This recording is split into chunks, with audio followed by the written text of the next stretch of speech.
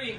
Y'all get ready. Yes, you get ready. Shout out to all my tea sippers out there. We are gathered here today to sip some tea, honey. So make sure you guys have your teacups ready because you already know this tea is what? Piping hot.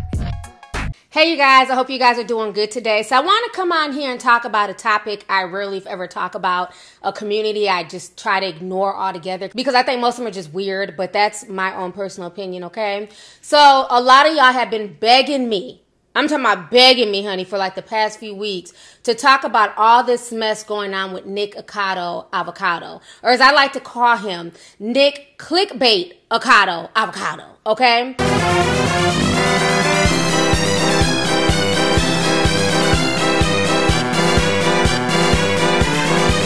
So Nick Avocado is this slovenly, sloppy man who went from being a vegan who is big on, you know, body positivity and health and eating right. Damn! But then he saw that there was money to be had in the mukbang community. And I've hit on the mukbang community sporadically in videos and how I just think it does nothing but promote gluttony, wastefulness, and people are just literally, you know, binging themselves. They're basically self harming themselves by binge eating. Okay. That's what it is. Y'all can call it cute names like mukbang, mukbang, mucky bang, bang, bang, whatever you want to call it. But at the end of the day, this is binge eating, which is a disease that does affect people and it's not funny. yeah, definitely put too much seasoning on this. Yeah, I ain't my mama. You ain't my daddy. I'll do what I want. Get camera, Chucky, buddy.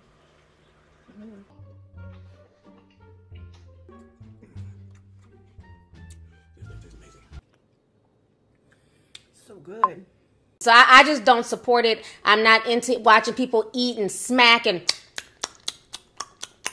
Let me stop because now I look like I'm sucking peen. Okay, I just it just it's annoying.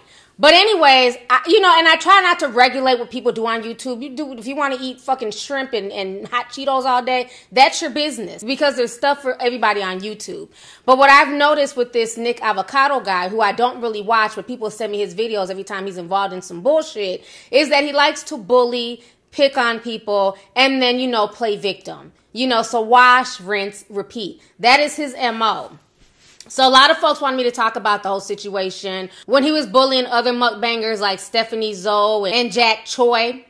My thing is this Stephanie and Jack, they're grown. They can hold their own titties, they can hold their own nuts. I'm not about to be running behind, you know, advocating on behalf of grown folks. If they have an issue with him, that's on them to speak on it. I don't need to come in with my cape because I know when I be going through shit, they're not coming in having my back with capes. You know what I'm saying? So I let other people hold their own nuts. But my whole issue with this situation is this, and this is why I'm speaking on it. I don't agree with his bullying tactics. I don't agree with him, you know, scaring people and just being overall creepy. People started sending me videos of Nick being disrespectful to not only Kobe Bryant, but his 13 year old daughter, and also disrespecting the legacy and the memory of the other people who were aboard that helicopter who passed away. So I'm going to go ahead and play you guys a clip of Nick basically disrespecting Kobe Bryant and finding it funny. Y'all go ahead and check this out, and I'm to come back with the rest of my commentary.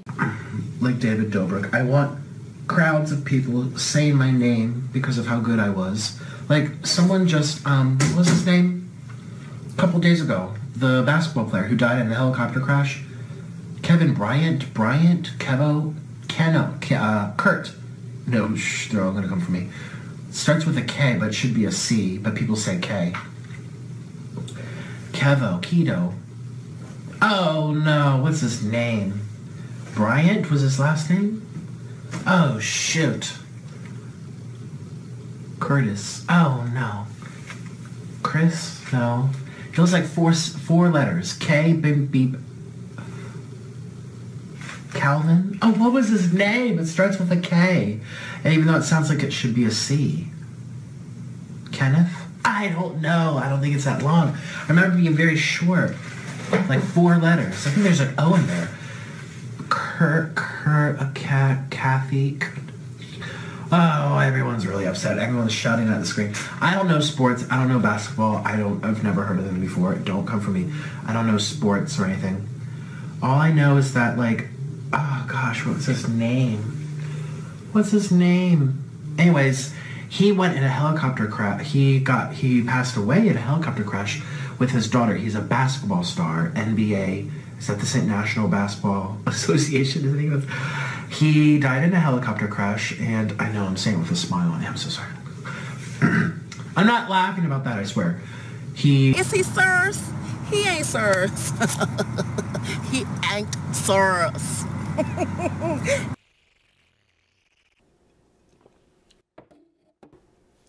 All right, so you guys just saw that disrespectful video. And like I said, I've been over this dude. I don't really watch his content because, again, he loves to, you know, binge eat and then play victim. He binge eats every day and then makes videos like, why am I fat? Why don't my jeans fit? How come I used to look like this, but now I look like this? Well, maybe because you're eating gobs and gobs of unhealthy food. Okay, that's why you're fat, overweight, and obviously miserable. Okay, but as long as the money and the checks keep rolling in, you don't care, and your audience obviously doesn't care about your well-being because they continue to watch this train wreck of a YouTube channel. Okay. Now, my thing is this. You come for all these other mukbangers and, and, and bully and pick on people, and that's on you.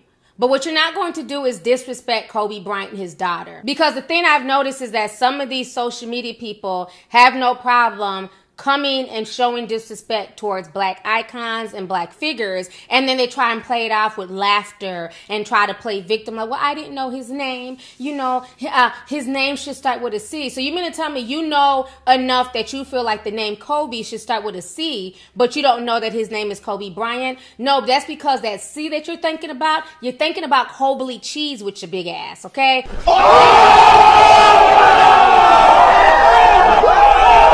That's what you're thinking about. You're thinking about Kobe cheese, and that's why you're confusing it with Kobe Bryant. Like, I'm just so over the disrespect that this dude shows. And the reason why I waited to make this video, because I thought, okay, let me wait a few days. I'm sure he'll apologize because he offended a lot of people with the things that he was doing in that video and his antics.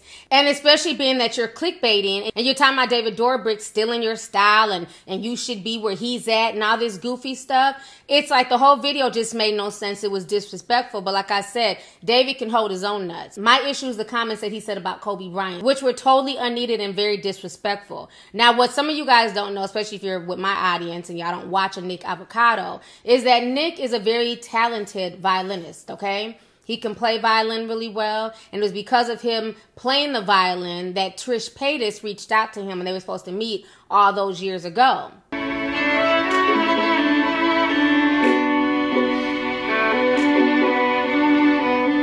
Now, I find it funny that you can disrespect Kobe Bryant and you don't know his name and you can't remember his name. But I wonder if that was a helicopter crash of your favorite violinist. Itzhak Perlman is one of the biggest world renowned violinists out there.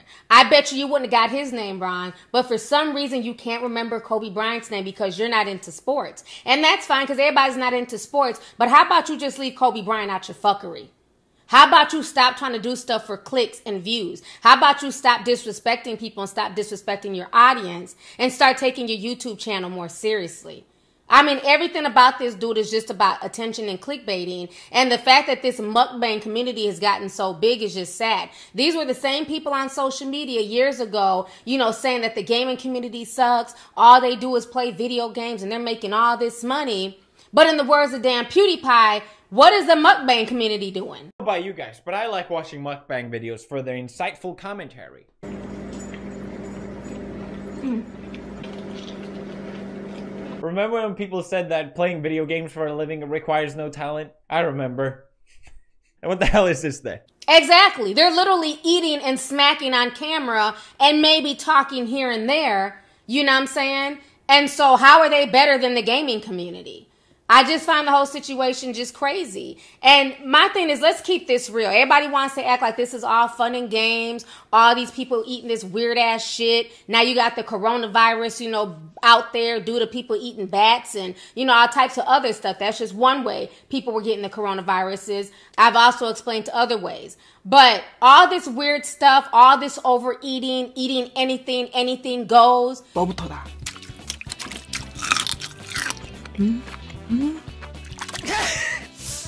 I mean, I've seen some really disturbing videos of the things that people eat. I'm not even gonna talk about it, it's that disturbing. But I feel like, let's say this was the anorexic community. Right? And let's say we sat there and we watched people starve themselves. Let's say people had, you know, uh, long Twitch sessions and YouTube live sessions where you see people go from being a healthy weight to losing a bunch of weight. They're dealing with anorexia. Nobody would sit there and watch people who are anorexic just not eat for just entertainment. Nobody would sit there and watch somebody who's like 100 and, you know, who's like 95 pounds, skinny and frail, just sit and make YouTube videos talking about, well, I'm not going to eat. That's my thing. This is the anorexic community. But for some reason, it's okay to watch a guy go from being a vegan, being slim and healthy, taking care of himself, taking care of his body, to watching him become an overweight mess to watching him purposely binge eat and get himself sick. This man's body is literally deteriorating in front of our eyes, and his fans are watching this in amusement. If this young man messes around and has a heart attack or ends up getting diabetes or just, you know, just anything that can befall him from all this overeating, then these same folks will be like, oh my God, poor Nick, and you know, we should have did something.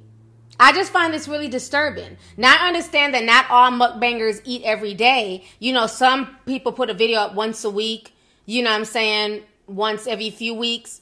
But this man literally eats like this every single day. This man is spending his money, which is all coming from YouTube, on gobs of food. And you can't tell me once he turns off the camera, he's not just throwing the damn food away.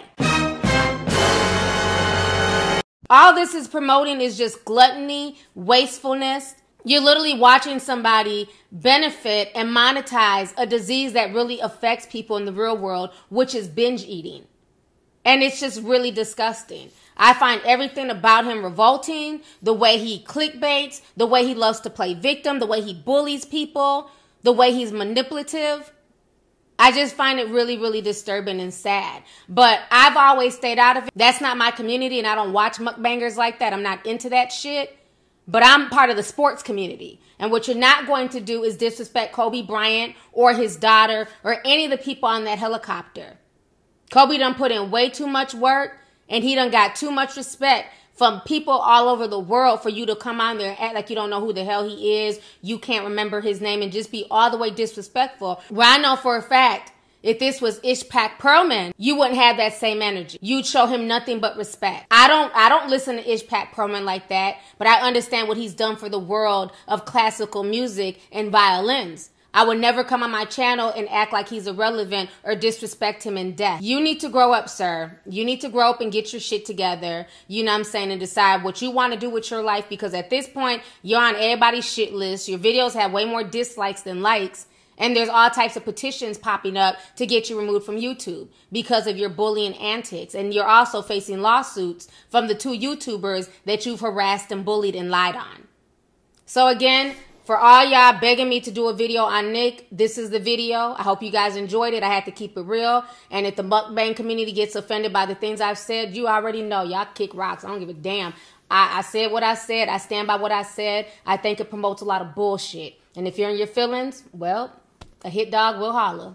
So, anyways, y'all, let's go ahead and get the discussion popping. Go ahead and leave a comment. Let me know your thoughts on this entire crazy situation concerning Nikocado Avocado and all his drama. But most importantly to me, the disrespect of Kobe Bryant and his daughter. How he thought it was funny to not only clickbait, but then to use them and their legacy and his foolishness. So let's go ahead and get the discussion popping. Make sure you hit that subscribe button. Don't forget to thumbs up the video. And most importantly, don't forget to hit the notification bell so that way you can be down with the notification squad. So go ahead and leave a comment. All right. Deuces.